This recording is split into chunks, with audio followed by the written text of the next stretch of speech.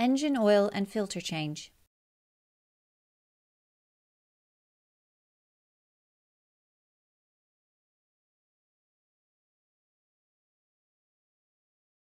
Chock the rear wheels to prevent the vehicle from rolling. Loosen the front wheel lug nuts. Place a floor jack under the front frame rail, raise the front of the vehicle, then support it with a jack stand placed under the frame rail. Remove the front wheel lug nuts and remove the wheels. Working under the vehicle, remove the engine splash shield fasteners and remove the shield. Being careful not to touch the hot exhaust components, position a drain pan under the engine oil drain plug. Clean the area around the plug, then remove it by turning it counterclockwise by hand and pulling it straight out. Wearing protective gloves is highly recommended.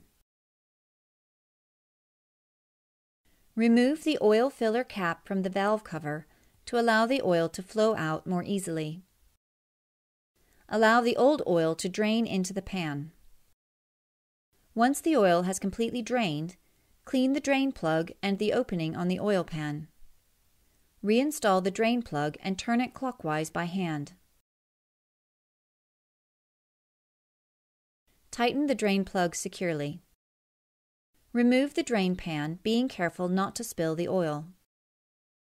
Tighten the oil pan drain plug to the specified torque setting. Position a drain pan under the engine oil filter.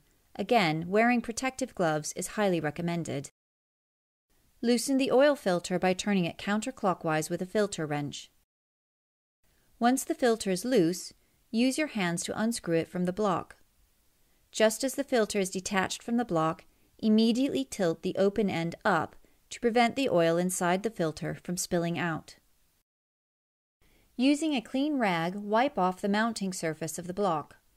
Also make sure that none of the old gasket remains stuck to the mounting surface.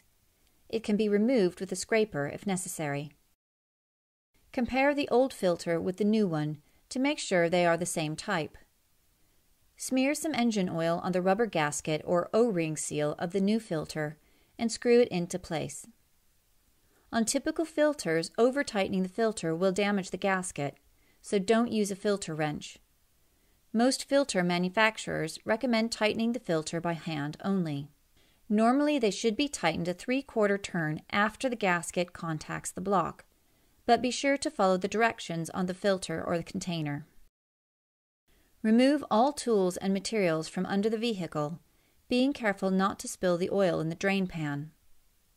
Install the engine splash shield and fasteners. Install the wheels and lug nuts.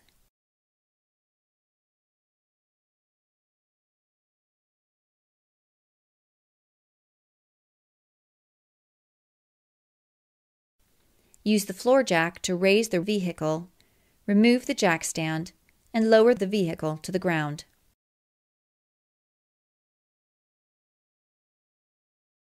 Tighten the wheel lug nuts to the specified torque setting.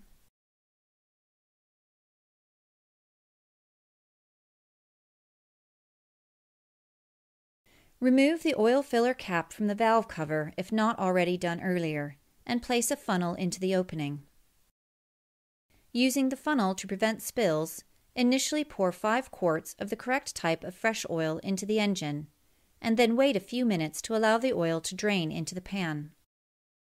Pull out the oil dipstick and wipe all of the oil away from the end of the dipstick with a clean rag or paper towel.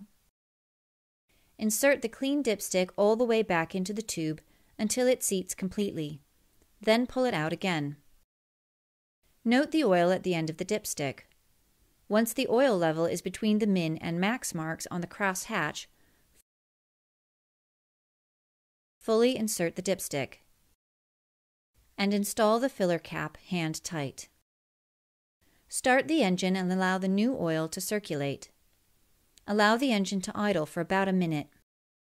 While the engine is running, look under the vehicle and check for leaks as the oil pan drain plug and around the oil filter in the engine compartment. If either one is leaking, stop the engine and tighten the plug or filter until it is secure. Turn the engine off and wait a few minutes. With the new oil circulated and the filter now completely full, recheck the level on the dipstick and add more oil as necessary to bring the level up to the max mark. Fully insert the dipstick and install the filler cap, tightening it securely by hand.